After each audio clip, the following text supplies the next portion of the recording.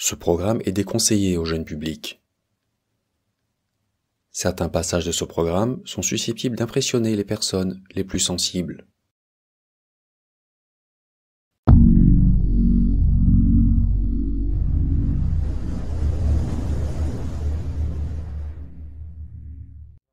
Il est 23h45.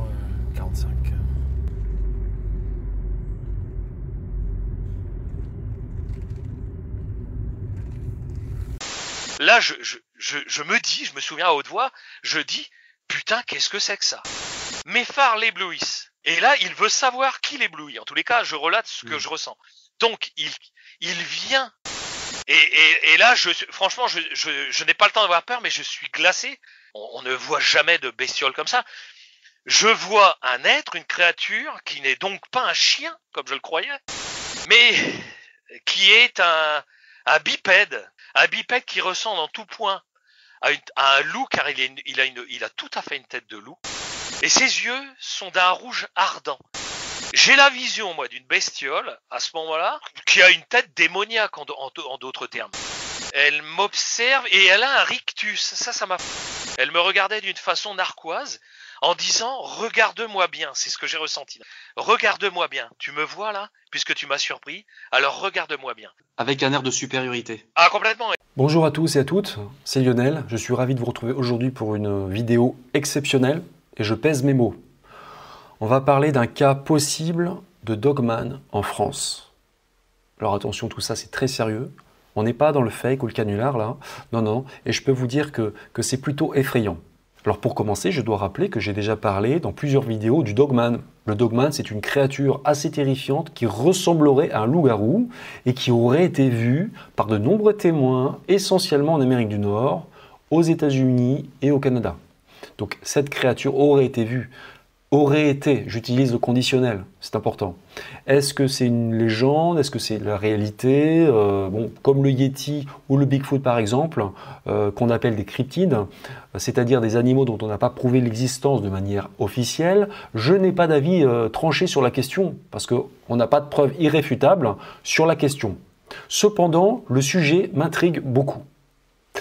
Il se trouve que il y a un peu plus d'un an maintenant, un homme qui vit dans le sud de la France, près de Nice, dans les Alpes-Maritimes, est rentré en contact avec moi. Et cet homme, qui s'appelle Alain, m'a rapporté un témoignage très troublant. C'est vrai que je reçois de temps en temps des messages, euh, voilà. euh, mais bon, là, ce témoignage, il a vraiment retenu mon attention parce que Alain, c'est quelqu'un qui a l'air vraiment très sérieux. C'est un homme euh, normal, hein, entre guillemets. Alain est apparemment un homme équilibré. Il a un travail, euh, une famille. euh, il n'a aucun intérêt à, raconter des bêtises. Donc, même si Alain est son vrai prénom, euh, cet homme a souhaité conserver l'anonymat pour des raisons faciles à comprendre. Donc autrement dit, il ne va rien tirer de tout ça. Si j'ai souhaité partager avec vous l'histoire d'Alain, c'est que cet homme me paraît vraiment sincère, c'est mon sentiment, mon intime conviction. Début janvier 2018, Alain a vu quelque chose qui l'a beaucoup marqué, il s'en rappelle parfaitement, comme si c'était hier. Il est extrêmement convaincu par ce qu'il a vu, même si c'est incroyable, et qu'il n'arrive pas à comprendre. Il n'arrive pas à comprendre ce qu'il a vu. Donc ça fait déjà un moment que je suis en contact avec, lui, euh, et il n'a pas varié dans son témoignage. Et il donne des informations très très très précises. Voilà, donc c'est pour ça euh, que j'ai souhaité partager ce témoignage avec vous. Euh, ce n'est que mon intuition, en tout cas, euh, j'ai vraiment l'impression qu'il dit la vérité, ou du moins qu'il croit en ce qu'il a vu. Donc Alain a vu quelque chose qu'il ne parvient toujours pas à s'expliquer, qu'il a un peu traumatisé même quelque part. hein. Et force est de constater que ça ressemble beaucoup à un dogman. Ça, ça renvoie vraiment au témoignage que j'ai déjà étudié. Donc moi je ne sais pas, euh, sais pas si c'est vrai, si c'est faux, euh, je ne sais pas que penser de tout ça, mais c'est important qu'on recueille son témoignage, qu'on écoute ce qu'il a à nous dire. Étant donné qu'Alain a des souvenirs parfaits depuis maintenant plus de deux ans, je lui ai proposé de faire une interview pour vraiment qu'il nous explique de A à Z ce qu'il a vu. Je lui ai posé des, des questions très précises et je lui ai demandé des détails, vraiment des détails aussi euh, importants pour vraiment essayer de comprendre ce qui s'est passé. Et ce qu'il m'a raconté est, assez terrifiant. Alors avant de ricaner ou de poster un jugement, parce que je suis sûr qu'il y, a pas mal de gens qui vont se dire ouais c'est n'importe quoi, c'est des foutaises, euh, voilà. Et après c'est leur droit. Je veux dire, euh, je leur jette pas la pierre. C'est vrai que ça peut paraître assez surprenant. Hein. Euh, moi je vous invite quand même à écouter l'interview. J'ai vraiment essayé de faire ça sérieusement parce que ce témoignage est unique et il ne faut pas le gâcher. Donc voici maintenant venu le moment d'écouter l'entretien que j'ai enregistré avec, avec Alain en audio, mais, mais, vous verrez aussi des photos. Moi je, maintenant je vous souhaite une bonne écoute. Euh, c'est donc un témoignage exceptionnel en exclusivité sur ma chaîne. Lionel Camille, disparu. Bonjour Alain, c'est Lionel Camille. Bonjour Lionel. Avant de commencer, donc cette conversation audio est enregistrée et sera publiée sur YouTube. Donc tu me confirmes que tu es d'accord hein oui, absolument. Si tant est que je dois faire attention à ne pas citer de nom de famille et d'être de, me lâcher de citer des, des personnes que je connaîtrais. donc, il euh, faut que je fasse attention à ça quand même. Mais oui, oui, tu as tout mon accord pour pour diffuser ça publiquement euh, et que ça interpelle. Moi, ma démarche, c'est que je ne comprends pas pourquoi je serais le seul à avoir vu ça en France. Je suis certain que des gens ont vu la même chose que moi, j'en suis absolument certain. Donc, si ça peut éveiller ou réveiller des témoignages et des témoins, j'en serais ravi. C'est pour ça que je souhaitais participer. D'accord. Ok. Comme je te disais, de toute façon, on va prendre le temps euh, qu'il faut pour faire cet entretien. Euh, il faut pas gâcher euh, ton témoignage parce que c'est un, témoignage qui est unique. Euh, c'est vrai que moi j'ai pas eu vent de beaucoup d'histoires de ce type en France, mais le tien en plus est très détaillé. Donc on va commencer déjà par euh, une petite présentation euh, de ta personne. Est-ce que tu peux commencer par te présenter? Alain est ton vrai prénom Oui, c'est mon prénom, oui, tout à fait. Voilà. Maintenant, tu me dis ce que tu veux. Ton âge. Écoute, je viens de prendre 56 ans. bah écoutez, j'ai une famille euh, d'un citoyen lambda, je dirais. Une charmante épouse, deux garçons là de 22 ans et, et 14 ans. On habite près de Nice. Mon loisir principal, c'est la restauration. J'ai deux voitures de collection donc je m'intéresse surtout à ça, et au bricolage, puisque j'ai construit en partie ma maison, en tous les cas je fais beaucoup de choses, électricité, plomberie et autres euh, bricolages en tout genre. Euh, et je ne m'étais jamais intéressé euh, jusqu'à la, en gros jusqu'à mon observation, à des sujets ésotériques. Ça m'a toujours impressionné ces sujets-là. Ça comme beaucoup la curiosité de voir, d'entendre des histoires de fantômes ou d'aliens ou de je ne sais quoi, je suis pas insensible, mais je toujours regardé ça d'un œil euh, un peu rigolo quoi. J'étais pas du tout prédestiné à raconter une histoire euh, qui par la suite, en cherchant moi-même après mon observation, m'a emmené vers du pas normal, ce hmm. qu'on appelle du paranormal. Hmm. Et c'est ça qui m'a contrarié le plus parce que moi je cherchais du concret, je cherchais une réponse euh, efficace, classique, euh, animal même. Euh, et je n'ai rien compris quand euh, l'internet et les sites et les histoires et les observations que j'avais fait m'emmenaient vers des choses ésotériques, des choses surnaturelles.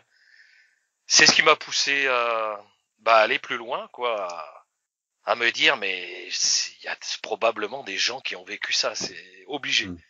Mmh. Et c'est par la suite que j'ai découvert en fait sur Internet que des histoires comme la mienne, il y en a des milliers à travers le, monde. Enfin, on voit ça sur Internet par milliers, et ce depuis l'Antiquité. Alors, j'ai trouvé ça aberrant. Donc voilà, d'un citoyen lambda, car je suis pas plus qu'un citoyen lambda. Donc tu n'es pas du tout, t'intéresses pas du tout aux films d'horreur, tu ne lis jamais de romans, enfin non, de livres d'épouvante. Écoute, moi dans les années 80, à l'heure du VHS, à l'heure du magnétoscope, on aimait se faire peur avec Amityville, la maison du diable ou ou Massacre à la tronçonneuse, mais comme tous les cette génération-là. Mais je ne me suis jamais intéressé à plus que de raison à ces sujets-là. Le, monde euh, ésotérique n'est pas pour moi. En tous les cas, il n'était pas, il, est toujours pas pour moi d'ailleurs. Mm. Deux ans mm. après, deux ans et demi après, je, je dirais même que je, je, pense avoir la tête solide parce que il y en a plus d'un ou une qui qui serait tombé en dépression ou qui serait devenu gaga. Euh, d'avoir vécu une rencontre pas normale comme ça. Tu, tu m'as l'air d'être quelqu'un euh, de sain d'esprit, euh, voilà, tu, tu ne souffres d'aucune Bah, pathologie, euh, hein. tu ne souffres d'aucune pathologie mentale. Excuse-moi, je pose ces questions-là, mais c'est des questions que vont se poser certains spectateurs, tu sais bien. Oui, absolument. Voilà, tu ne, tu ne bois pas plus d'alcool que, que la moyenne nationale. Absolument pas. Un petit rosé en été avec la pizza, on Voilà. est heureux avec ça. Ouais. Et un touches bon pas la- Bordeaux. ouais. Voilà, tu ne touches pas la drogue. Pas sûr. du tout, non, non, non. Et Ah, les enfants, heureusement non plus. Je n'ai besoin en aucun cas de, de vivre de ça, de cette histoire-là. J'en fais, j'en tire aucune gloire. Simplement, j'ai, voulu en savoir plus depuis deux ans et demi. C'est pour ça que j'ai essayé d'aller chercher de l'information et de rencontrer une fille charmante comme et toi, Lionel, qui, voilà, qui m'avait aidé dans, dans cette démarche depuis un peu plus d'un an. Ok. Donc maintenant, on va rentrer dans le concret. Donc, tu travailles sur Monaco, c'est ça? Mais tu vis. Donc, dans Monaco, oui, absolument, Ouais. mais je Mhm. vis sur la commune de donc en clair, chaque jour, tu fais, euh, tu fais un peu de route entre ton domicile et ton lieu de Euh, la plupart du temps euh, en scooter, car on a cette chance dans le sud où on est, on est quand même bien loti en météo, en soleil. Mais comme là c'est en janvier et que je fais le soir généralement les lundis, mardis, dans des horaires de, de 15h minuit. Ici, en plus il pleuvait, il brouillassait bien, il pleuvait bien cette journée-là. Alors attends, excuse-moi. Donc on était, alors là on est donc en janvier, début on est, janvier. euh, on est 2018. lin- lundi, a priori lundi, oui. Je dis a priori parce que j'avais voulu effacer de ma mémoire les, les deux premiers mois cette histoire parce que ça c'était troublant. Bon, après j'ai quand même réécrit euh, les dates et ça m'amène au, au lundi 8 janvier. Il faisait pas beau, c'était orageux le soir. Donc tu quittes le travail vers 23h50, c'est Vers ça euh, 23h50 parce que en fait je finis à 23h30. Est-ce que tu peux nous donner la marque de ta voiture que tu conduis? C'est important. Un, un petit Mitsubishi Space Star, un truc qui est pas très diffusé. Ah ouais. Essence, et je Mm, précise essence parce qu'il fait, Mm. comme c'est un petit moteur essence, ça ne fait pas de bruit, c'est pas comme un diesel. Oui, mais ça c'est important justement. On va en reparler tout à l'heure. C'est pour ça que je te posais cette question. Enfin, moi qui est restaurateur de voitures anciennes, j'ai pensé. euh, Ouais. Avant de partir, donc Ouais. ce soir-là, tu n'as pas pris, tu n'as pas bu l'apéritif au travail avec tes bon, collègues. ça, ça risque Hein pas parce que Voilà. non non, je, Euh. trava- je travaille dans le luxe et comme toute personne au travail, il y a belle lurette que l'alcool nous est interdit. Hmm. Depuis les années 90, euh, j'ai évolué dans l'hôtellerie, voilà. Et entre autres l'hôtellerie euh, de luxe à Monaco, puisque c'est un classique sur Monaco, hein, c'est la première industrie. Donc non, surtout pas d'alcool, c'est impossible puisque c'est le licenciement sec. Je sais bien, mais je te pose la question parce Mais que je- c'est pour les auditeurs. Tu ne prenais pas de médicaments particuliers à Oh l'époque. non, jamais, jamais, je, d'accord. j'ai rien, j'ai rien à part Euh, un, un chouïa de cholestérol comme beaucoup Ouais, de ouais. gens, mais jamais fumé un joint de ma vie, moi, c'est pas D'accord. mon truc.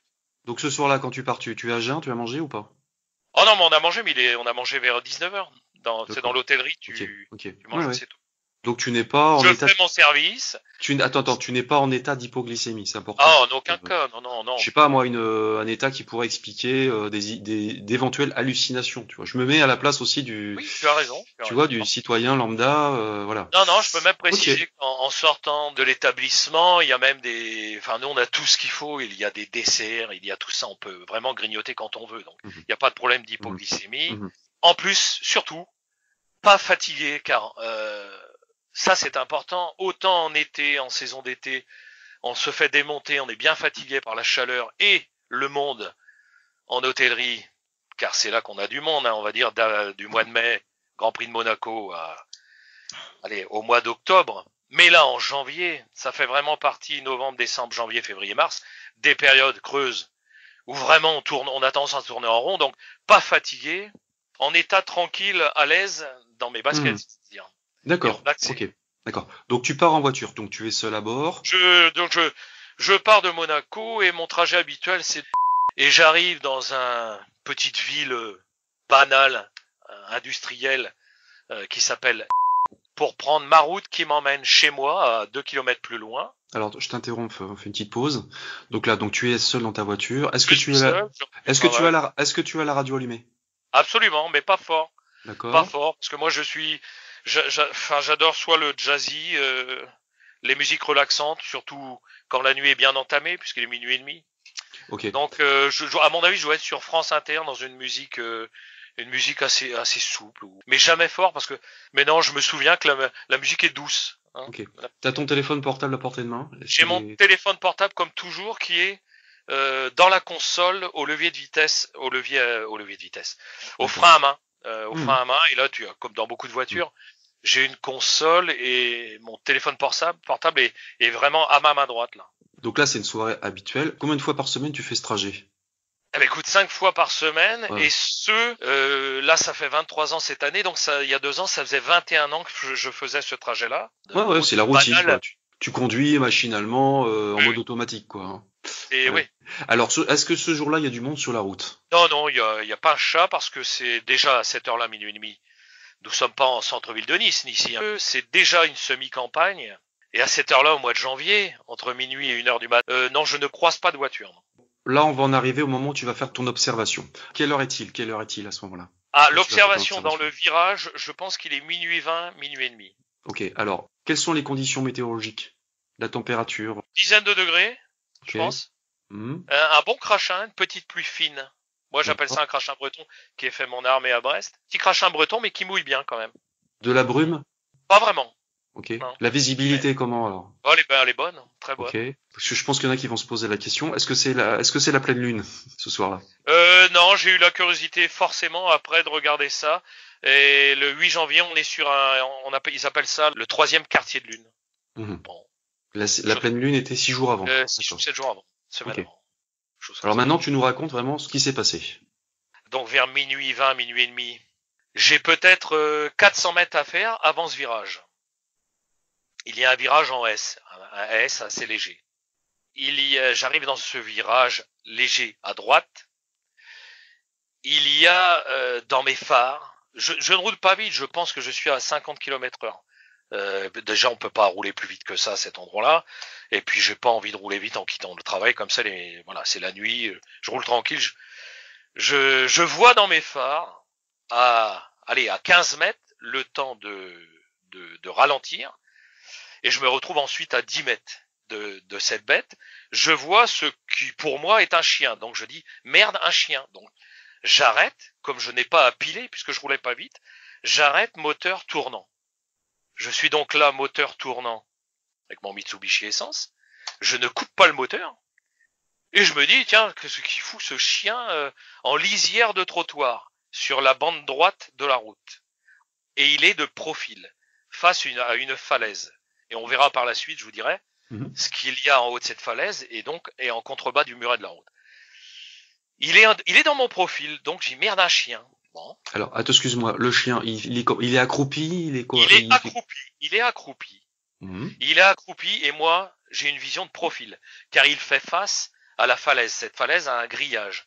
On a accès à 25 mètres au-dessus Mhm. euh, au cimetière donc de il y a un grillage qui soutient les pierres parce qu'il y a toujours des Oui. écroulements de pierres, comme toute falaise Mhm. et on Et alors, ce chien, il fait quoi?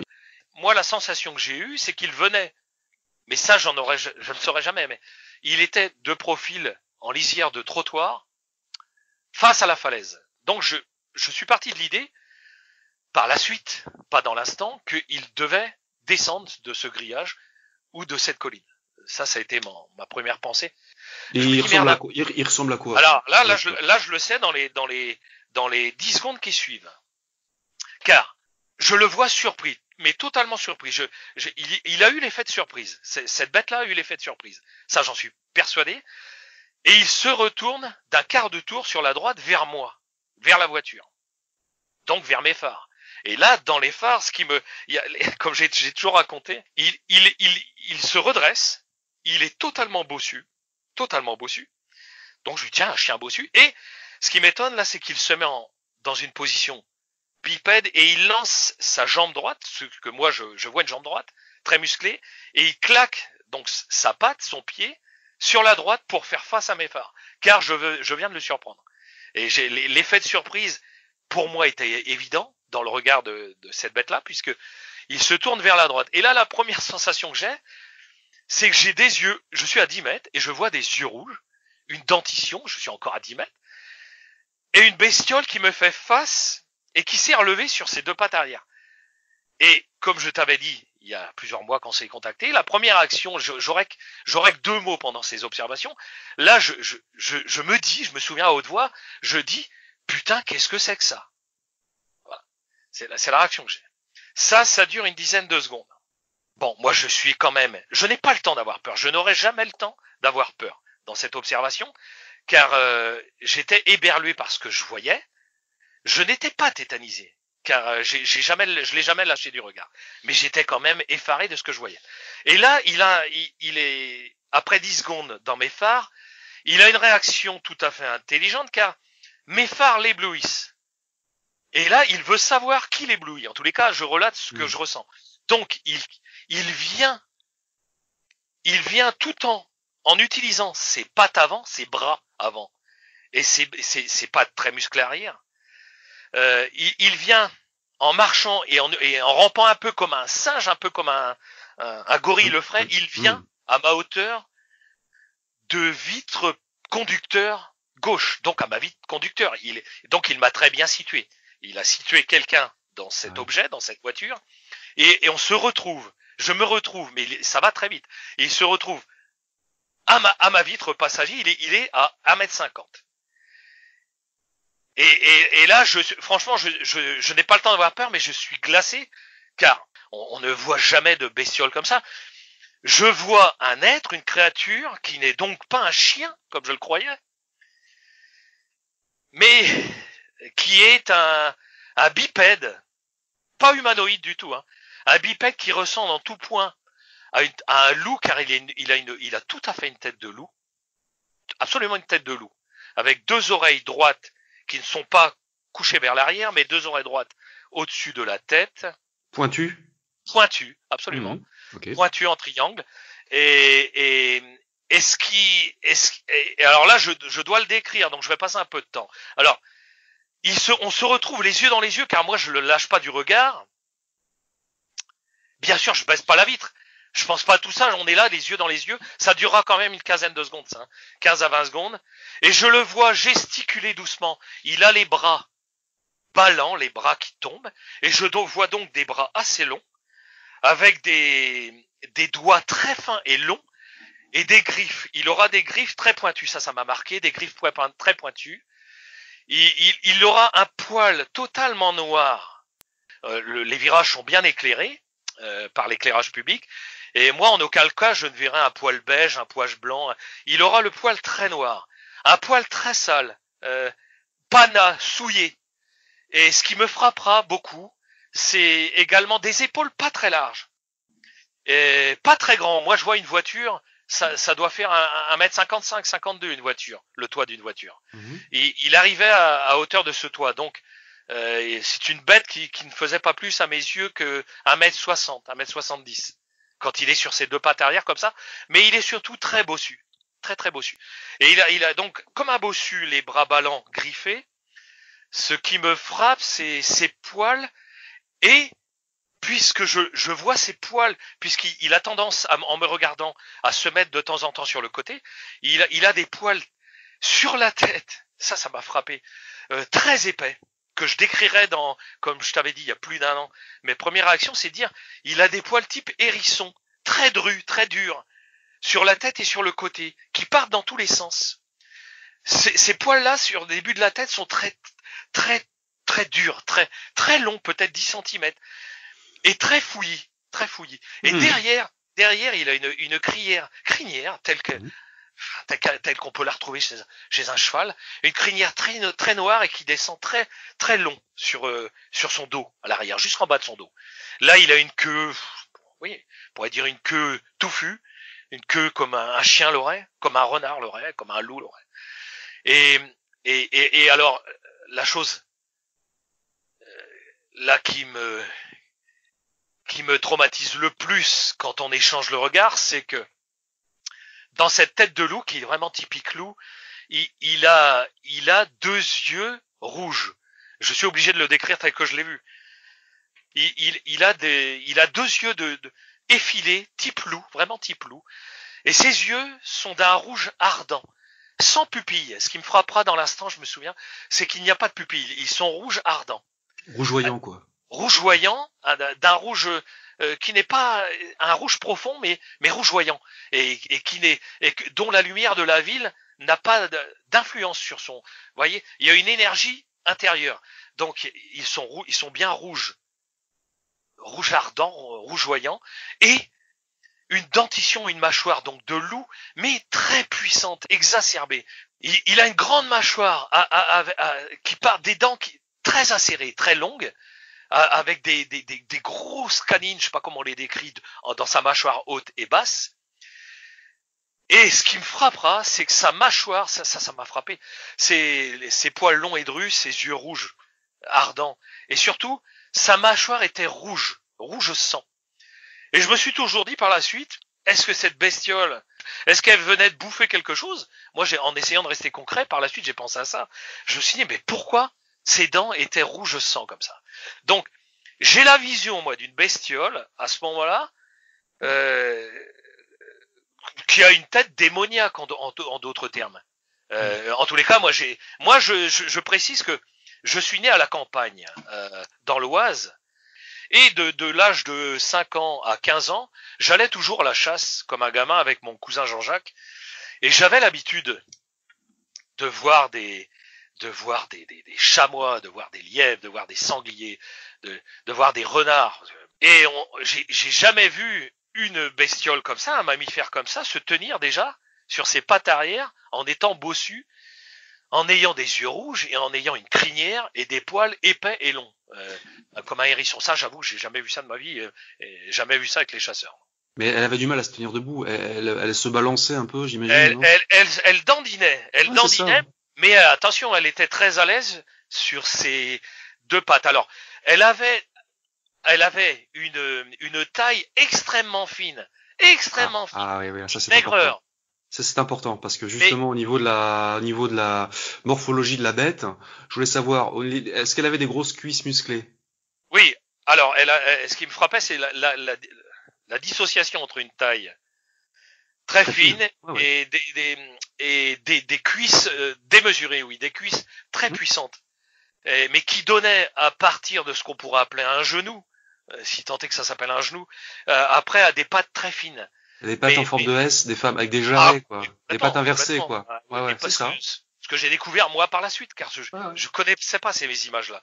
Mais j'ai euh, retrouvé ce que j'avais vu dans des images euh, internet, à savoir en effet ces pattes inversées, et, mais surtout des cuisses très solides, très solides. Ça ressemble beaucoup au dogman, c'est-à-dire la, la, la, description qui en est fait souvent, c'est ça, c'est euh, un corps avec des membres inférieurs très musclés, une taille très fine, et la gueule, une gueule qui déborde dedans avec euh, oui, oui, une, une, mâchoire, une mâchoire assez longue d'ailleurs, assez longue avec avec une férocité, une férocité de de, de dentition en effet. Ouais. Une mâchoire presque presque exagérée en fait. Ah oui, oui, presque exagérée. Hein. avec trop de dents. Euh, je, je, dirais même euh, presque bande dessinée sa, sa mâchoire. C'est hallucinant. Le loup texavri un peu avec trop de dents. Absolument. Absolument. Mmh. Ah ouais, tout, à, mais tout à fait anormal. Ouais, ouais. Euh, et, et toujours est-il que cette bête, je, elle est, on est les yeux dans les yeux, ça dure une vingtaine de secondes. Elle est venue dans une démarche réfléchie. Alors ce que j'ai à ma vitre, ce que je n'ai, ce que je veux préciser également, c'est que euh, quand on échange du regard, elle m'observe et elle a un rictus. Ça, ça m'a frappé. Elle n'a aucune férocité. Euh, elle, elle, me regarde d'un air narquois, d'un air moqueur. Euh, à aucun moment elle n'a tapé à la vitre, à aucun moment elle n'a eu d'agressivité envers moi.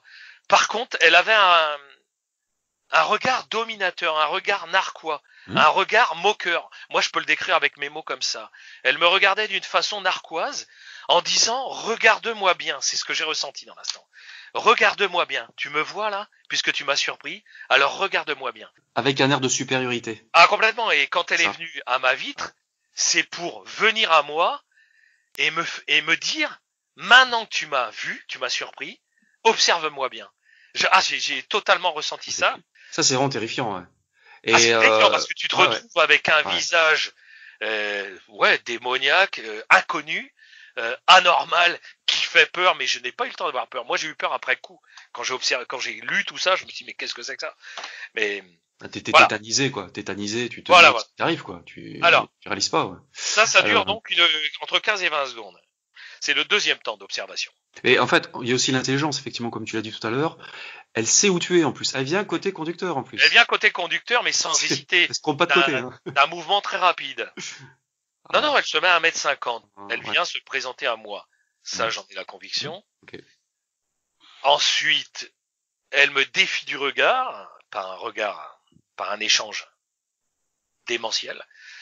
Et là, après ces 15-20 secondes, elle, elle a un mouvement de tête sur la gauche, et de sa jambe gauche très puissante, puisqu'elle a des cuisses très puissantes, elle fait un petit saut sur la route, donc un bond sur la route, et on va dire qu'il n'y a pas très loin du muret au-dessus de la rivière, car le muret donne sur une rivière. Elle, tape une première fois sur la route pour se donner un, élan, elle fait un bond et elle se retrouve, on va dire, à 2 mètres 50 en faisant un bond, ce qui n'est pas démesuré, même un homme éventuellement pourrait le faire. Elle tape de son pied gauche, elle fait un bond, elle se retrouve sur le muret. Là, sur le, sur le muret, elle est toujours en position bipède, comme tout le long de mon observation, elle est en position bipède. Alors attends, là, attends, le- elle fait un bond de quelle, quelle, quelle distance? Elle fait, elle fait 3 mètres. Elle fait 3 mètres, entre 2 mètres 50 et 3 mètres. Je, je pense que j'avais mesuré de, de ma. Elle fait un bond légèrement en biais de ma vitre passager, puisqu'elle a 1 mètre 50. Elle doit passer la ligne médiane de la route.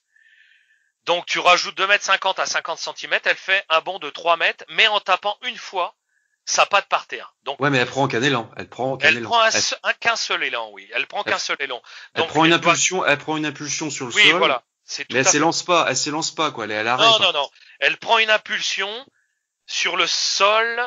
Elle rebondit donc une fois et elle atterrit sur le muret. Et un homme pourrait faire ça, d'après toi? Oh, j'en sais rien, mais j'imagine qu'il y a des qu'il y a des champions d'athlétisme qu'il faut. En tous les cas, cette bestiole-là, c'est- cette bête-là fait ça à ce moment-là. Alors, je vais poser une question maintenant un peu. Je, je, je, je fais exprès de poser des questions un peu comme ça, un peu naïves. C'était pas un gars dans un costume? Ah, en aucun cas, non, non, non, non, non. c'est- Bah, il faut lui remettre le César, le l'Oscar du, du déguisement là. Ouais, non, parce que voilà. Ok.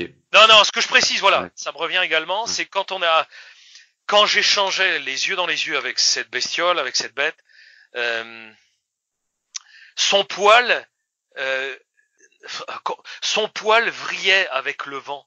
Elle était bien vivante. Elle était là. Elle était en chair et en os Mm. à mes yeux. Elle, Mm. elle est. Tu sais, ce n'est pas du tout comme euh, je réfléchissais à ça, à, à une image, à, à un hologramme, à une image qu'on me balancerait. Ou alors, euh, c'est, il Mm. y a les génies de la d'Hollywood qui étaient là, quoi. Mm. Ce virage-là, paumé en France. Euh, Mm. elle, elle est bien vivante. Elle est Mm. là en chair et en Mm, os. mm, Elle est réelle. Hmm.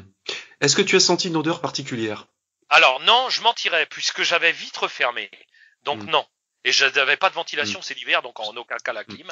Hmm. Donc parce que, non. Parce que ta fenêtre était fermée, on précise. Ah oui, oui, oui. fermée, d'accord. Il va, il va aller, Parce qu'il il va aller pleuvait, mieux, remarque, il il va aller glaçait. mieux, hein, parce que il va aller mieux, hein, c'est clair. Ben, je me le suis toujours dit, euh, euh, si, est-ce que si j'avais été en scooter comme... Alors, pour l'anecdote, je n'ose plus, euh, depuis deux ans, je n'ose plus euh, passer quand je fais l'horaire du soir en scooter. Je suis toujours dit, est-ce que cette créature m'aura attaqué si j'avais été en scooter? Je, n'en sais rien. Alors donc, le deuxième temps, c'est l'observation, les yeux dans les yeux. Le troisième temps sera qu'elle traversera en biais la route de ma vitre passager au muret de la rivière, avec un, un bond sur euh, 3 mètres. Voilà, elle fera un saut sur ce muret. Et là, elle se retourne une dernière fois. Elle se retourne vers moi, toujours dans une attitude réfléchie. C'est ce qui m'avait frappé le plus, c'est que elle se retourne avec la tête dans un regard très puissant comme ça. Elle me jette un regard euh, très très puissant une dernière fois. Là, elle regarde la rivière, elle se retourne encore vers moi, et je la, je sentirai toujours cette hésitation. Je ne saurais jamais quelle était cette hésitation, pourquoi elle hésitait? J'ai toujours eu la sensation qu'elle voulait me dire quelque chose ou me faire comprendre quelque chose, ou elle n'était pas allée elle au bout de sa démarche. Ah, quelle démarche, j'en sais rien. Euh, D'attaque, de, je ne sais pas. Toujours est-il qu'elle m'a regardé deux fois, d'un regard très puissant. Là, elle retourne sa tête en direction de la rivière et elle sautera dans la rivière. Et là où je me, j'aurais encore une, une expression, c'est que on s'attend. Je parlais des sangliers, des renards, des loups, des mammifères.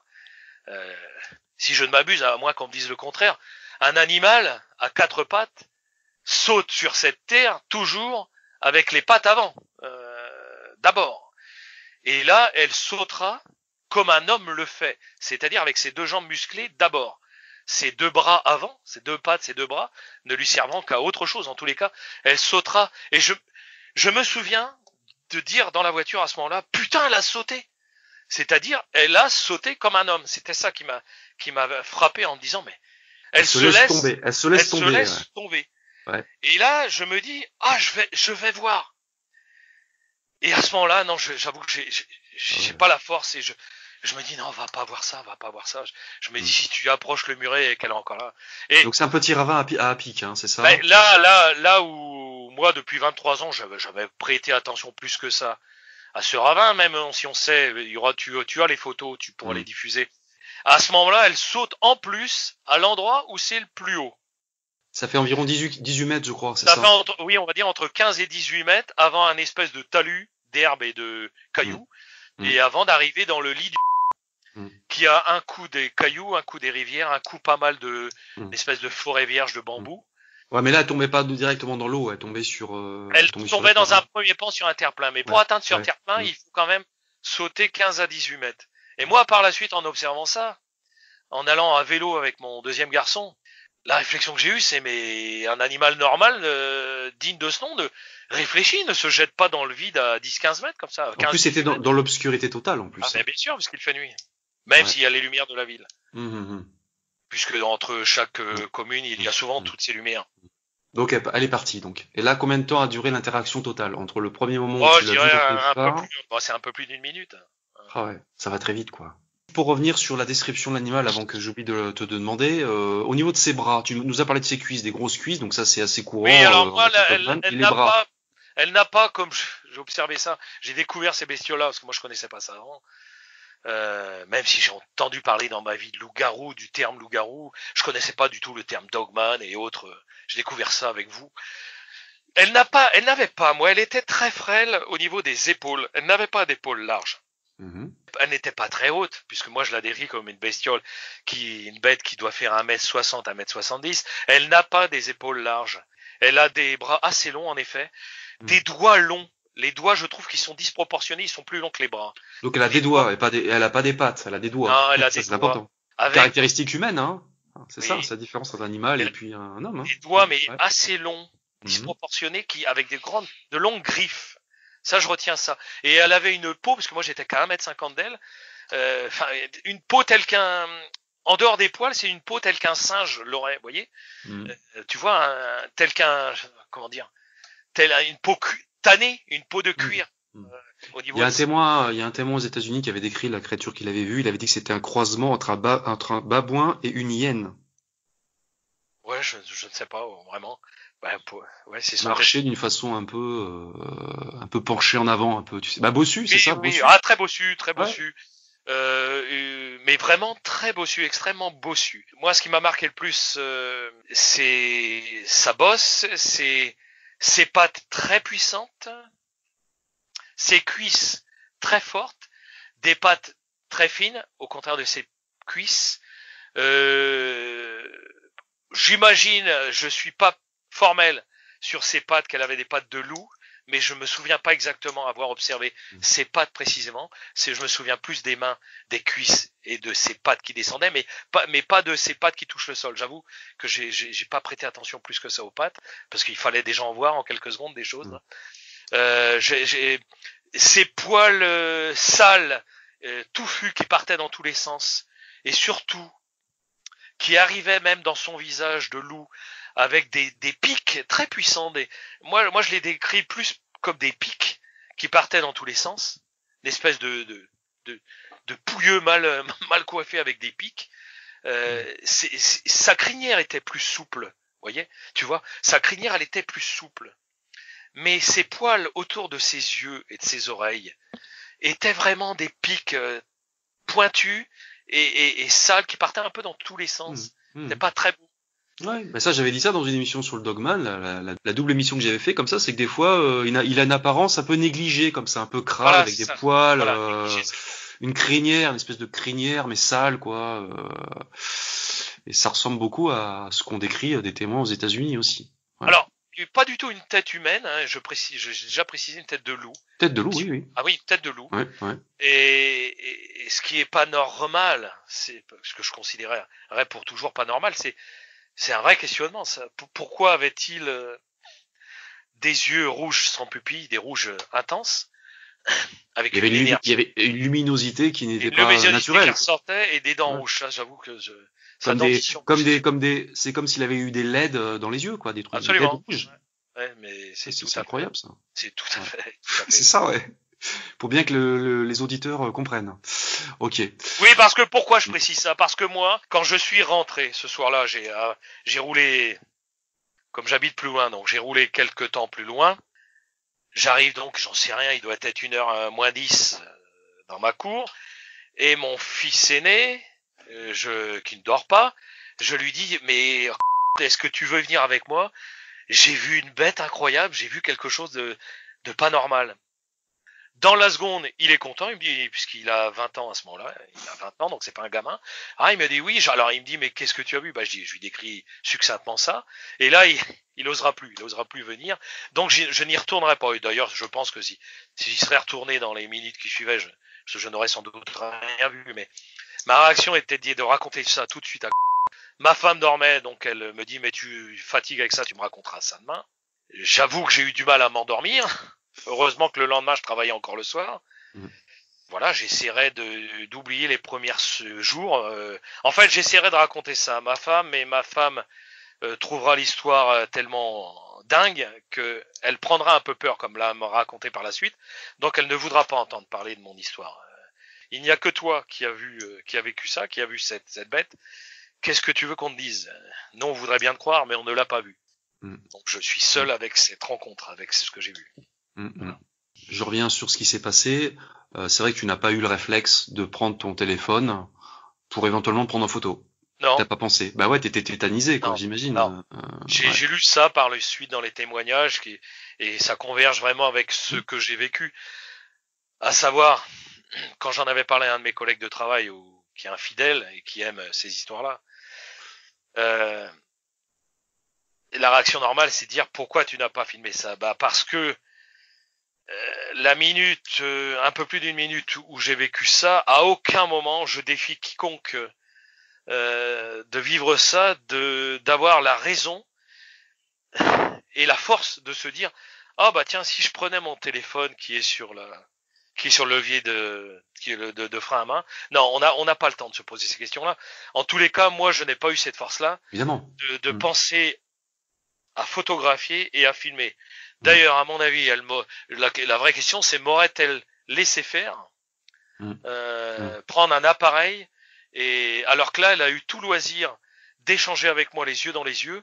Et je pense que elle, c'est ça qui l'intéressait et en aucun cas d'être photographiée, si tant est qu'elle sache ce qu'est cet appareil, mais vu l'intelligence que dégageait cette bête, moi je pense qu'elle ne m'aurait pas laissé utiliser cet appareil photographique.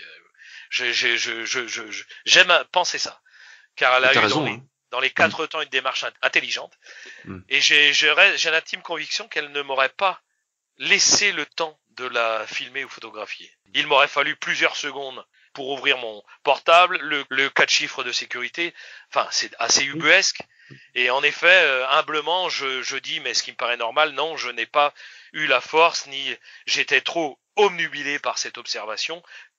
Je défie à ah. quiconque d'avoir le hmm. temps de, de filmer hmm. ça.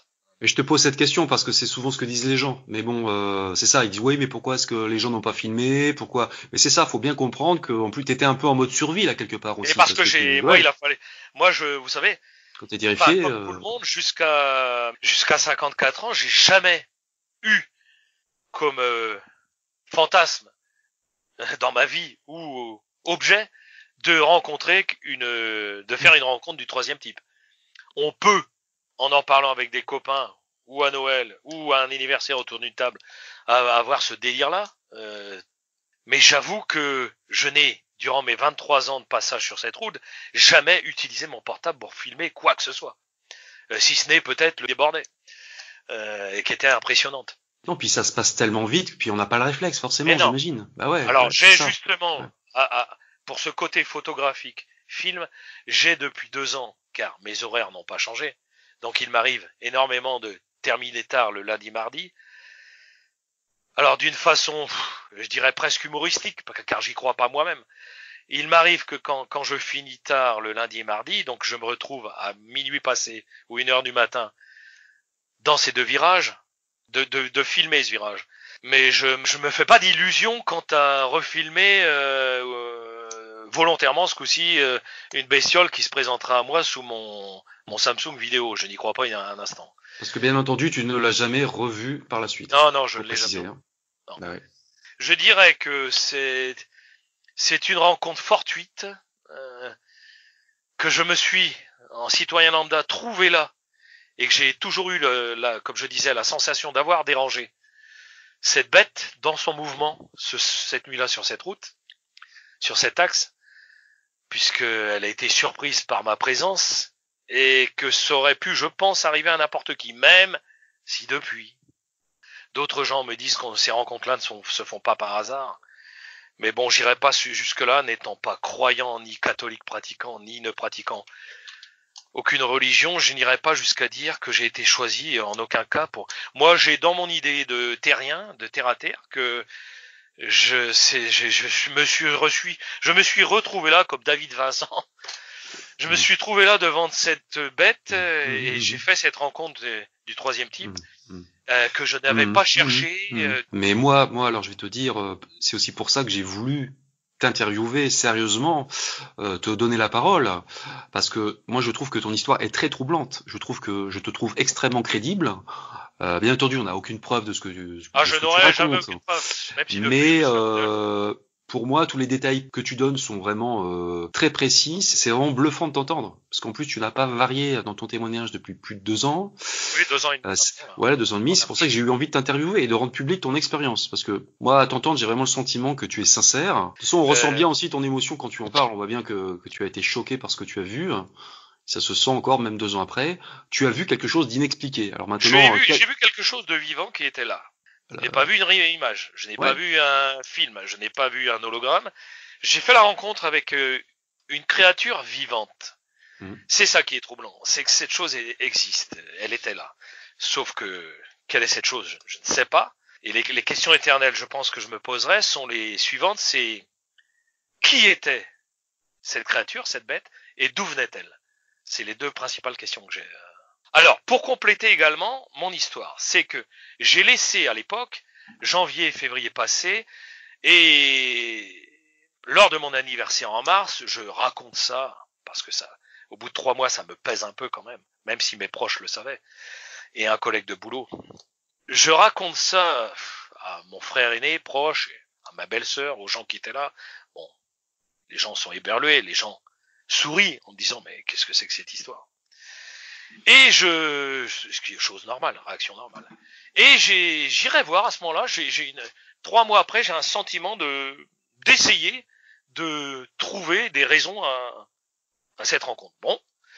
Alors, je me dis, tiens, bah, va voir le maire de, hein, qui est un personnage public, euh, et je dis, tiens, monsieur le maire, euh, j'ai, il y a trois mois de ça, j'ai fait, est-ce que vous pouvez m'écouter là? Oui, allez-y.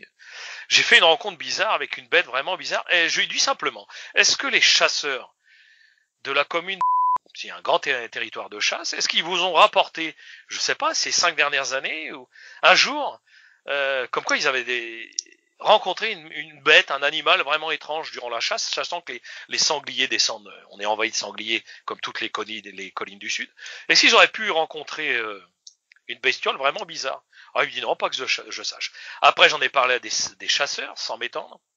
Les types m'ont dit non, écoutez, on n'a pas fait de rencontre plus, plus étrange que ça. Voilà. Et deux semaines après, euh, comme ça, je me dis, euh, tiens, je vais aller voir le, le père qui exerce euh, en tant que curé sur les communes, les, les paroisses de. Et bon, c'est un homme sage. J'y vais vraiment sans rendez-vous. Bon, il me connaît pas plus que ça, parce que moi, euh, je suis pas de culture religieuse, donc je n'ai pas fait pour la petite histoire. Je suis baptisé, mais je n'ai, je n'ai pas fait de, du tout de catéchisme, et encore moins les communions, puisque mon père était un anticlérical et il chassait les curés de la maison. hein. voilà, j'ai j'ai dit est-ce que je peux échanger avec vous sur euh, sur, sur un sujet, mais je, je préfère vous dire que l'histoire est, est très bizarre. Donc euh, j'espère que vous n'allez pas vous formaliser. Il fait non non. Je lui raconte donc l'histoire. Lui, il me dira, pour faire court, il, me dira avec ses mots à lui de croyant, de religieux, il me dira, ma, vous savez, le, le bien et le mal existent. Le bien et le mal existent, vous savez, ce n'est pas surprenant. À, à cette question qui, qui, qui sera pourquoi cette bête ne m'a pas attaqué, je lui poserai cette question-là, à lui religieux, il me dira, ma, elle vous a pas attaqué, je pense, car vous étiez protégé par un ange gardien, par votre ange gardien. Voilà ce qu'elles seront ces mots à lui de, prêtre. Euh, et sur ce, il aura rien d'autre à me dire. On lui, a, on lui a, on lui, on ne lui a pas relaté de telles histoires où il n'a pas osé me le dire. Euh, je pense tout simplement, tout sincèrement, qu'on lui a pas raconté de telles histoires. Et j'aimerais pourtant, d'où mon témoignage, car je reste persuadé que même en, en France, d'autres gens ont vécu ça. Euh, même si Monsieur le curé on lui a pas raconté ces histoires-là, il y a forcément des gens qui ont malgré tout dû vivre une histoire comme la mienne. J'en reste intimement persuadé. Alors moi, je vais rebondir sur ce que tu, sur ce que tu viens de dire là, sur ce que vient de dire ce, cet homme euh, d'église. Ça, ça renvoie encore à ce que j'avais raconté sur le Dogman, c'est ça? Parce que il y a eu, euh, on avait recensé énormément euh, d'observations de Dogman aux États-Unis. on a recensé très peu de cas d'attaque, et c'est exactement la raison qui avait été avancée euh, là-bas pour expliquer pourquoi, à savoir, à pourquoi savoir. les témoins n'avaient pas été agressés. C'est parce qu'ils étaient protégés euh, Ah et parce que euh, apparemment, euh, en gros, euh, le dogman ne s'en prenait qu'aux qu'aux mauvaises personnes, en gros. Et je confirme qu'en effet, comme je disais au début de cet entretien, euh, elle n'a jamais eu de de- d'intention agressive, mais par contre, elle a toujours eu euh, une, une volonté d'échanger avec moi, de t'impressionner, de t'impressionner, de me t'impressionner. présenter, de se présenter à moi, c'est ça ma première impression, de m'impressionner, de lui montre, de me montrer qui elle était. Quelqu'un m'avait posé la- question, est-ce qu'elle t'a parlé d'une façon, euh, comment on appelle ça, Télépathique. télépathique En aucun cas, je Ouais. vais, pas inventer, je n'ai pas entendu de parole ou de quoi que ce soit de, de cette bête. Euh, mais par contre, j'ai bien ressenti le fait que par son attitude, Mhm. par son regard puissant, par l'échange qu'on a eu, une vingtaine de secondes à, à 1m50, les yeux dans les yeux, je précise, euh, de, elle, elle était en train de me dire regarde-moi bien. Mhm. Et sur le muret, elle n'avait pas fini quelque chose. Je ne saurais jamais ce qu'est, ce que c'était, mais en effet, les deux regards qu'elle m'a jetés avant de sauter dans le vide, et, et, et elle avait un, elle avait un, une inquiétude, elle avait un questionnement. Je ne saurais pas quel était ce questionnement, mais comme si elle n'avait pas, elle n'en avait pas fini avec moi, avec cette rencontre. Elle a eu une interrogation avant de sauter dans le vide. Voilà ce que je, que je peux dire. Alors maintenant, on va, on va en venir au dogman, parce que ce que tu viens de me dire là, euh, en fait, ça renvoie aussi au fait que beaucoup de témoins du dogman en Amérique du Nord ont vraiment eu une impression mentale très très forte. Et c'est ça en fait. T'as eu la même chose, une impression mentale. Et t'as pas parlé euh, Oui. de manière télépathique, Non, non, elle mais, ne m'a pas. mais t'as vraiment eu. Euh, cette créature ne t'a pas regardé comme un simple animal, quoi. Elle a, Ah, vraiment. euh, Non, non, elle avait, elle avait une, une, dé- une démarche réfléchie, Mhm. en position bipède, En position humaine. Mais moi, je précise que c'est en enquêtant les mois qui ont suivi que j'ai découvert ces histoires, même si, je- comme tout le monde, j'avais vu les fameux films, euh, je sais pas, dans les années 2000, les films sur les loups-garous, là, célèbres. J'ai découvert l'histoire des loups-garous, pourquoi j'ai pourquoi contacté un garçon comme toi du moins c'est toi qui m'as contacté par la suite et à cercle restreint c'est que moi je voulais trouver d'une façon terre à terre quel pouvait être cet animal cette bête tu vois? Et c'est au fur et à mesure des des sites et des images que je découvrais que ma bestiole ma créature m'emportait là où je ne voulais pas aller, car je, moi, je, vers d'une histoire de paranormal, une histoire surnaturelle, Mhm. une histoire voire religieuse, euh, tu vois?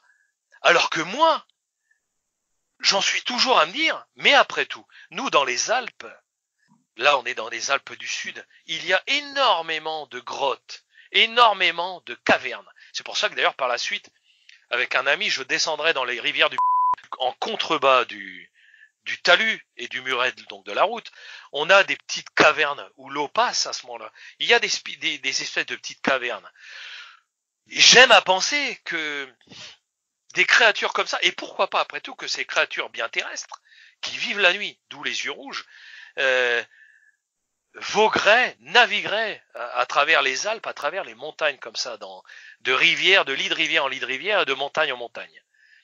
Voilà. Mais, mais bon, ça c'est ma. J'aurais aimé trouver ça, euh, trouver Et... cette histoire de bête qui existerait. Non, mais tu as tout à fait raison. Attends, parce que moi je ne suis pas forcément partisan de l'hypothèse paranormale. Hein. Euh, il s'agit peut-être d'une bête mutante, hein. Une espèce d'aberration, une aberration de la nature, une anomalie de la nature, hein, euh, effectivement. Hein, euh... On va parler du Dogman après, parce que pourquoi? Parce que j'ai fait une, j'avais fait deux émissions sur ce sujet qui m'intéresse beaucoup. Mais euh, peut-être que tu as vu une créature faite de chair et d'os qui a vraiment une origine biologique, dont l'existence n'a pas encore été euh, forcément euh, prouvée ah, par la science. Voilà, euh, c'est peut-être une anomalie. Ça, c'est une des, des, interrogations. Une bête mutante, je sais pas.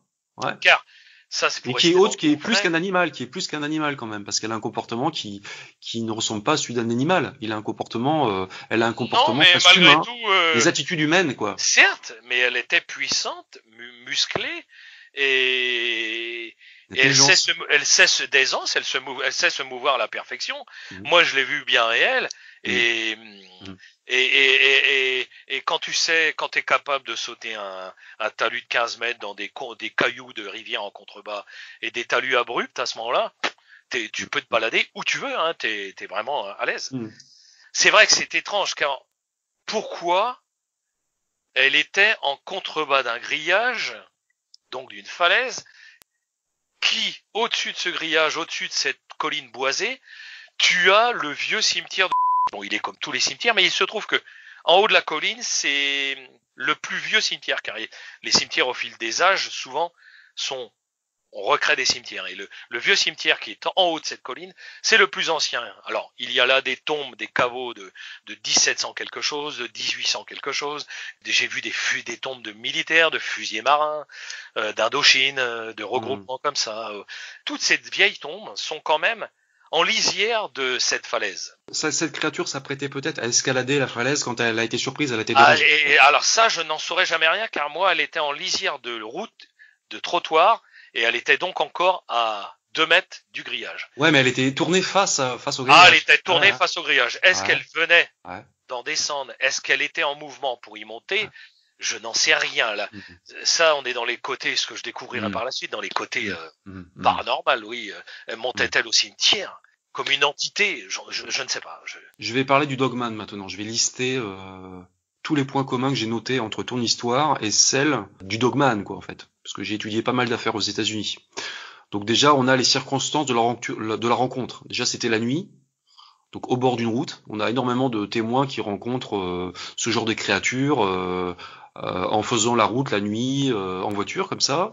Oui, Alors il y a l'apparence, l'apparence de la créature aussi, que, que beaucoup de témoins euh, décrivent comme ressemblant à un loup-garou. Alors attention, ça n'est pas un loup-garou, ça ressemble à un loup-garou. Et voilà. c'est étrange d'ailleurs qu'à travers les arbres, moi ça m'a frappé, ça, en observant ça, que des témoignages dataient, passaient les âges. C'est-à-dire, il y a des témoignages, des, des textes qu'on retrouve de, de Platon, d'Hérodote, qui parlent, et ce ne sont pas des inventions, car ces, textes, ces textes ont été traduits et existent, qui parle de ces, la vision de ces bêtes, ces créatures. Ça, ça m'a marqué. Je me dis, mais comment ça fait, ça se fait que depuis l'Antiquité, des gens comme moi ont vécu des observations, des rencontres comme ça? Ça, en effet, c'est quand même très troublant, quoi. Ça n'est pas une invention, ça n'est pas une invention de l'internet, quoi. C'est ça. Ça existe depuis la nuit des temps. Voilà. Donc je continue. Donc l'apparence de la créature, il y a le comportement de la créature aussi, qui était à quatre pattes au départ et qui s'est dressée sur ses elle pattes était, arrière. Elle était accroupie. Le ouais, long accroupie latéralement à moi, mmh. face au grillage, presque en boule. C'est pour ça que pour moi, je me dis, tiens, merde, un chien. Ma première action. Okay. Parce que moi, j'ai deux chiens à la maison. Mmh. Euh, je vais pas commencer à écrire, comme tout le monde, à écraser un chien. On n'a mmh. jamais eu l'intention. Enfin, je veux dire, c'est action okay. normale de, de, dire, merde, elle freine, il y a un chien. Il y a aussi, alors attends, il y a aussi la, les bons aussi, les bons prodigieux. La, la, créature que tu as vue a fait un bond de 3 mètres comme ça sans élan. Elle, non, non, sur, non, non, comme je l'ai précisé tout à l'heure, elle tape une fois sa jambe gauche sur les 3 mètres. Donc elle, elle fait un premier saut bon sur sa jambe gauche et elle arrive sur le muret. Donc elle fait les 3 mètres avec un bond, en effet. Bah, c'est énorme. Et aux, les, dog, les dogman euh, aux États-Unis sont souvent vus comme ça en train de traverser des routes en deux trois bonds. Très rapide aussi, très rapide. C'est une créature très rapide, hein, le dogman. Et donc ta créature était aussi rapide, il me semble. Hein. Elle, était rapide sur hein. le premier mouvement, c'est-à-dire que quand elle m'observe dans les phares et qu'elle est donc gênée par les phares, donc elle décide de venir à, ma, à faire les 10 mètres et venir à ma vie de passager, elle les fait en une fraction de seconde, mais elle ne fait pas, elle ne le fait pas par un bond. Elle les fait à ce mouvement, à ce moment-là, par un mouvement de, de, de ces mouvements de marche hyper rapide sur ses deux pattes arrière, mais ses deux bras avant touchent encore le sol. Tac, tac, tac, tac, tac. Un chien ou un loup n'aurait jamais fait ça. Un chien ou un loup serait resté euh, tétanisé dans les dans les feux, il t'aurait regardé, euh, il serait resté sur place. Hein. Ah, tout à fait. Euh, c'est comme, les, comme les kangourous, euh, c'est comme les kangourous en Australie sur les routes, tu sais. absolument. Ils sont, pris dans les phares comme ça, ils sont tétanisés, ils bougent pas, ils viendront sûrement pas euh, voir euh, ce qui se passe derrière la lumière, quoi. Et je confirme, puisque étant né à la campagne, combien de fois, comme tous les gens qui vivent à la campagne, j'ai rencontré des chevreuils, on était envahi par ça. En effet, la réaction normale de ces bêtes-là, c'est une fois qu'ils sont dans tes phares, si tu as la chance de pas les avoir écrasés, c'est qu'ils se sauvent d'une façon ou d'une autre. Mais en aucun cas, ils viennent à ta vie de passager se présenter, en aucun cas. Alors je continue avec le dogman, la connexion possible avec le dogman. L'environnement aussi. L'environnement où tu as vu cette créature, on est près d'un endroit où il y a de l'eau. Et effectivement, aux États-Unis, les dogmans sont souvent vus dans des zones euh, où il y a de l'eau, des rivières, des marécages, ce genre de choses. Et là, il se trouve qu'il y a la rivière qui passe. Euh, oui, oui, et, qui là en janvier coule bien.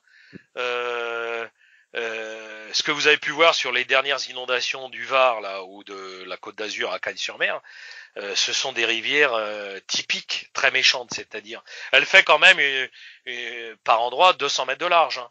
À cet endroit-là, c'est très large d'ailleurs, car il y a une vraie forêt de bambous, de ou d'ailleurs j'ai toujours pensé à ça, où une bête peut se cacher parce qu'il y a des, des des endroits immenses où personne va, où tu peux, c'est tellement dense de bambous très mm. très denses, tu peux mm. pas les pénétrer.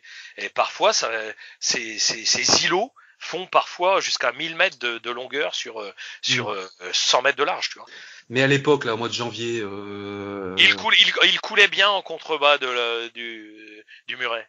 L'eau faisait, l'eau que faisait quelle largeur? Oh, euh, elle doit faire à ce moment-là en janvier, elle doit faire euh, 30, allez, 25 mètres de large sur sur par endroit, sur 80 par endroit sur 80 cm de profondeur. Ouais mais par endroit, parce que des fois mmh, tu peux avoir mmh, pied, mmh. et d'un seul coup tu as un trou d'eau. Alors je continue aussi, alors ça c'est une caractéristique qui revient énormément dans les cas d'observation de dogman aux États-Unis, et là on est, on est exactement dans ce cas dans, en ce qui te concerne. Euh, les dogmans sont souvent vus près de sites religieux ou funéraires, et dans ton cas c'est exactement le cas aussi beaucoup, beaucoup de symboles tout à fait étonnant que ça soit en contrebas du, cim, du vieux cimetière. Euh, l'église est, l'église est à 400 mètres de là. 400 mètres de l'église. Il y a une croix aussi, une croix. Dont ah oui, alors que tu verras sur les. Dont on va voir la photo. Euh, voilà. Il y a un calvaire. Alors des calvaires. Attends, excuse-moi, excuse-moi. Cette croix, cette croix, elle est à quelle distance de de ton observation? Ah, Elle est à 20 mètres. ouais. Elle est à 20 mètres, c'est un calvaire comme on en trouve partout en France. Moi, dans mon département de naissance, et il y en avait partout à travers les. Euh... J'ai demandé d'ailleurs depuis euh, aux anciens combattants ou d'ailleurs quand tu vas, je, tu as les quand tu tu lis ce qui est inscrit sur ce calvaire, c'était souvent en hommage à des à des soldats morts, à une guerre quelconque. Et ce calvaire, il date de 1882, je crois. Voilà, 1882. Mm. Et bien entendu, il y a le cimetière qui est juste au-dessus. Quoi. Ah, le cimetière est immédiatement au-dessus. Parce qu'aux États-Unis, euh, les dogmans sont souvent vus près de cimetières ou d'anciens sites funéraires indiens aussi. Ah. Et, euh, et, aussi des lieux qui ont des noms religieux. Par exemple, je sais pas, euh, je te dis Church Road, la, la route de l'église. donc il y a un détail donc auquel j'ai pensé aussi. tu m'avais dit que en plus ta voiture était silencieuse. Et c'est ça, c'est ce que je me dis aussi peut-être qu'elle oui, elle ne t'a peut-être pas entendu, elle ne t'a peut-être pas entendu arriver. C'est ce que j'ai toujours pensé. Ouais. Elle ah t'a pas entendu, mais elle, elle, aurait pu voir les phares par contre. Hein. C'est ça qui est bizarre. Bah, les phares, elle les a vus en se retournant vers moi, à ce ah moment-là. Ouais, d'accord. Mais euh, moi, j'ai j'ai- j'ai toujours, euh, j'ai euh, j'ai toujours eu cette, euh, Mm. enfin cette vérité qui est une vérité pour moi, c'est que je la surprenais là. Dans... Mais que faisait-elle? Alors, j'ai eu deux versions là-dessus. Moi, j'ai la sensation que je la surprends, puisque c'est la sensation, ma vérité à moi. C'est à ce moment-là qu'elle qu'elle claque sa cuisse droite et qu'elle se retourne vers moi, car j'ai la sensation de la, de la déranger dans sa position euh, courbée. Elle a l'air, elle a l'air énervée. Et ça, c'est ça, c'est encore une caractéristique du dogman aux États-Unis. Beaucoup de témoins nous expliquent que cette créature a l'air en colère au début. Elle a l'air en colère, elle a l'air euh, agacée. Est-ce que c'est ton cas? Est-ce que c'est ton cas? Est-ce Euh, qu'elle est oui, dérangée je- je- Ah oui, je la dérange, ouais, je la dérange. Ah, ah, c'est ça. je la dérange, donc elle a un geste puissant et, euh, et violent sur la droite pour se retrouver dans mes phares. Je la dérange, je la dérange de je ne sais. Elle était accroupie là, que faisait-elle? Elle était pas en train de manger quelque chose parce qu'aux États-Unis, le dogman Ah, souvent vu en train de Je manger des, tu sais, ce qu'on appelle des roadkills, c'est-à-dire des, des créatures euh, écrasées. Euh, Ah, elle est bah, souvent ça. repérée comme ça. Ça soit elle Ah, était ça ah bah c'est ça, peut-être que c'est peut-être pour ça aussi qu'elle avait la, la gueule euh, pleine de sang. Elle était Oui, peut-être alors. en train de manger un cadavre de, de quelque chose. Bah, il se trouve qu'à, on va dire, à 100 mètres de là, dans un, un, un des autres virages, il y a toujours plein de rats à cet endroit-là parce que Voilà. parce que les égouts, parce qu'il y a des passages comme ça. Et à 100 mètres de là, en effet, euh, tu, la nuit, hein, tu vois toujours énormément euh, de rats traverser dans ces endroits-là, en effet. Alors, j'irai pas jusqu'à dire qu'elle bouffe un rat, je, je ne sais pas. Ah, peut-être, hein. Parce que, est-ce qu'il y a pas de bouche d'égout, là? Il y a pas de bouche d'égout? Il y a pas, Euh, si, il y a des bouches d'égout qui, qui longent. non, mais euh, axe. à l'endroit, à l'endroit précis où tu l'as vu. Elle était pas penchée sur une bouche d'égout, enfin, sur un, Ah, il faudrait, il faudrait que je, j'avoue que là, de, je sais plus. Il y en a forcément une, faut voir où elle se trouve à ce, Ouais. moment-là. ouais. Et bonne question, tiens, bonne question. Il faudra que je Mhm. regarde à, à combien est l'approche de bouche d'égout et si, Mhm. si, si elle était à ce moment-là sur une bouche d'égout. Je-. Je, ne sais pas. Je- mais, mais je peux le savoir parce que je sais exactement euh, à un mètre près où, où, où est l'observation, hein, même à 56 mètres.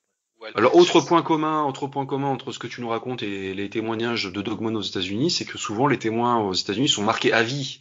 Ils se rappellent de ce qu'ils ont vu même 20 ans après. Et bon. toi, c'est exactement ton cas aussi. Mais oui, mais oui, mais moi je mourrais, je mourrais avec cette histoire, même sans passer, euh, même sans passer à la télé, car j'ai pas l'intention de. Voilà, je, je, je vais en rester là et je vivrai toujours avec cette histoire que j'aime, j'aime une, une fois partager avec vous, avec des gens comme toi. Mais je, je vais pas en faire un commerce. Je, j'en ai jamais eu l'intention et, Ben oui. C'est ce que- ce je disais. Hein. Et- mais je, je mourrais en effet avec cette histoire, car T'as aucun intérêt à se raconter n'importe quoi, euh, tu n'y gagnes Si. rien. Si j'ai souhaité euh, t'interviewer, c'est que je trouve que tu, ce que ce que tu nous dis est assez assez impressionnant et, et semble vraiment crédible. Voilà. Enfin moi du moins c'est l'impression que j'ai. Je- la, je- la, la jeune femme euh, à qui j'ai raconté ça, que tu connais également, qui est professionnelle en plus dans un secteur très précis, euh, m'a toujours dit Alain, une, une hallucination ne se traduit pas médicalement par l'échange que j'ai, enfin que l'échange que j'ai face à toi quand tu me racontes cette histoire.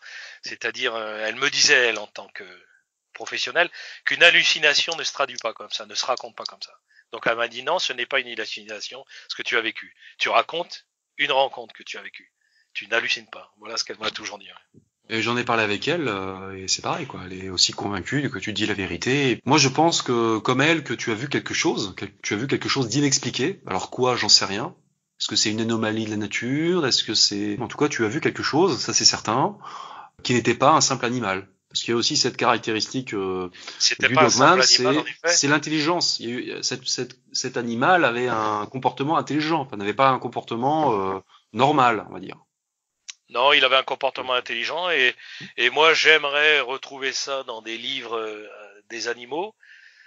j'aimerais que des gens me disent bah tiens, voilà, c'est page 323, tu vois, c'est ça que tu as vu. Mais le problème est qu'on ne retrouve ça nulle part. Moi, après deux ans et demi, en effet, à part euh, le paranormal ou, ou le questionnement euh, de bêtes inconnues, on ne, je n'ai retrouvé, je n'ai retrouvé nulle part la bête que j'ai observée, en effet va voir euh, comment veut dire dire à quelqu'un Ouais. tiens je est-ce que vous avez vu ça un jour? Voilà j'arrive avec mon histoire Mm. le problème c'est que tu es le seul avec toi-même ou en tous les cas avec peu de gens comment veux-tu raconter ça sans que les gens te rionnent et t'explosent euh, Mm.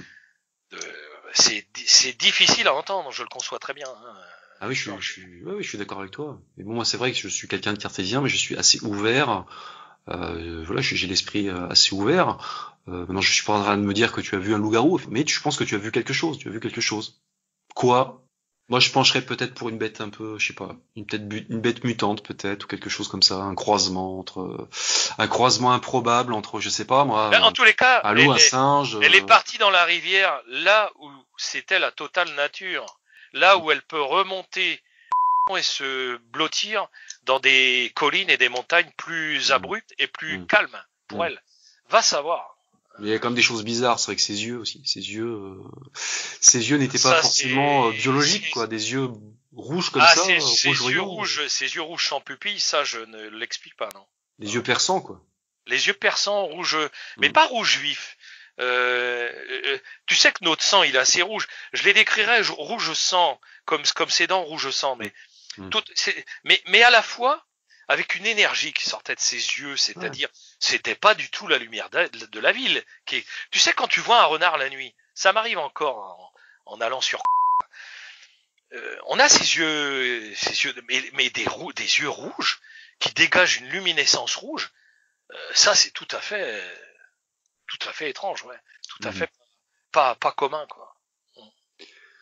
Voilà, bah écoute, euh, mon cher Alain, on arrive, on arrive à la fin euh, de l'interview. Est-ce que tu veux ajouter autre chose? J'espère que tu as la conscience Ouais, plus je- légère maintenant. Tu l'as.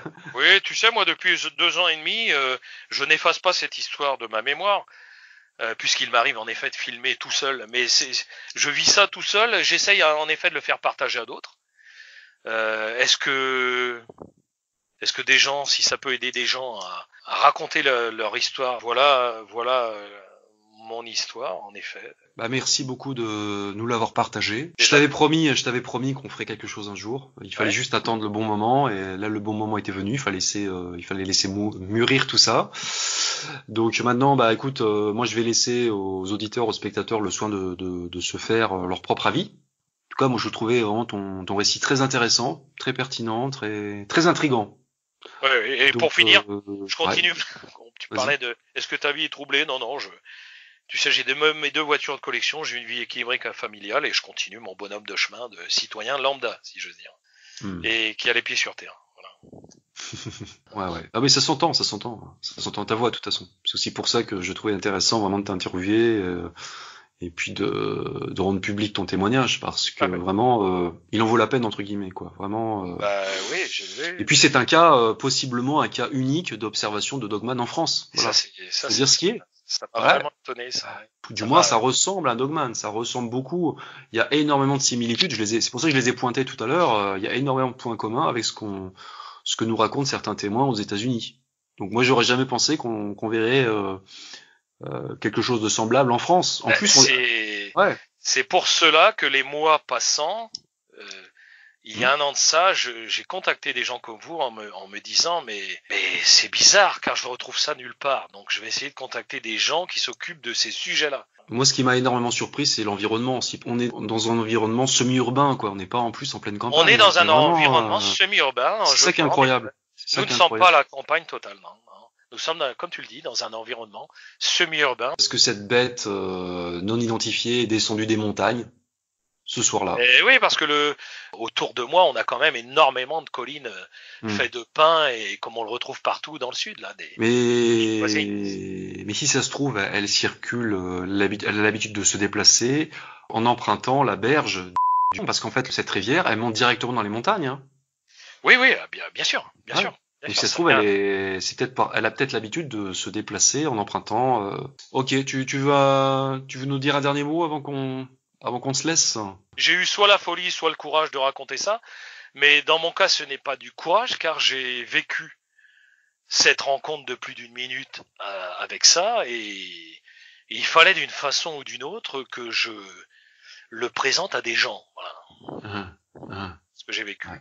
De concret, car pour moi, c'est du concret.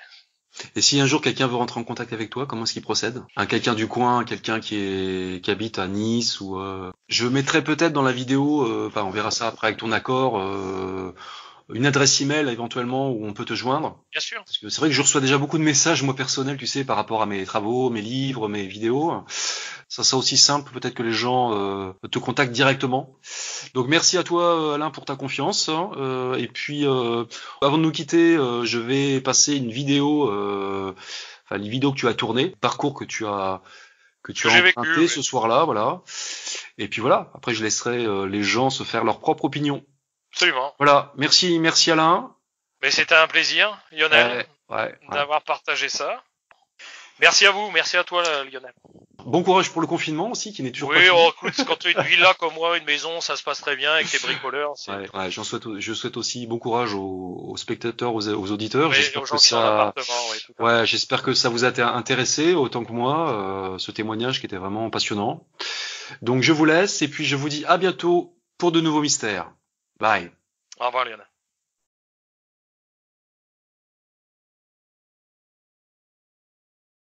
heures à Monaco et il est 23h45.